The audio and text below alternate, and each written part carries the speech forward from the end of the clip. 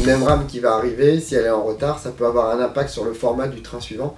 Donc quelque part, ça a vraiment une réelle valeur ajoutée de pouvoir utiliser cette solution pour savoir où sont nos wagons en temps réel et en même temps bah, quels vont être les impacts si euh, le train précédent n'est pas réalisé pour la rotation suivante.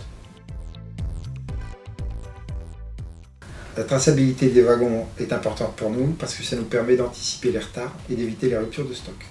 La conséquence d'une rupture de stock, c'est euh, euh, d'envoyer des camions à la place des wagons tout simplement.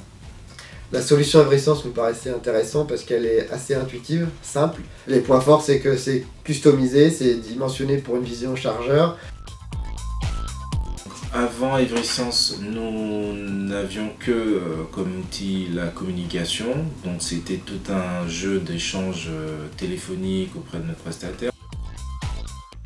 Euh, le retour d'investissement de, la solution Everessence, c'est d'avoir une productivité opérationnelle euh, qui permettent de, pouvoir améliorer la gestion du quotidien, notamment avec l'ensemble des parties prenantes, que ce soit les usines, le dépôt et aussi euh, l'entreprise ferroviaire. Le fait d'avoir euh, on est capable maintenant de savoir à tout moment où se situent nos wagons, on est capable maintenant de connaître notre disponibilité de parc, on est capable aussi de challenger nos équipes aussi opérationnellement. On envisage aussi de pouvoir euh, quelque part euh, bah, dimensionner l'ensemble du parc wagon pour pouvoir euh, optimiser nos différents flux ferroviaires en faisant du backhauling ou en faisant aussi un meilleur dimensionnement de notre parc wagon par rapport au taux d'utilisation de chacun de ces wagons.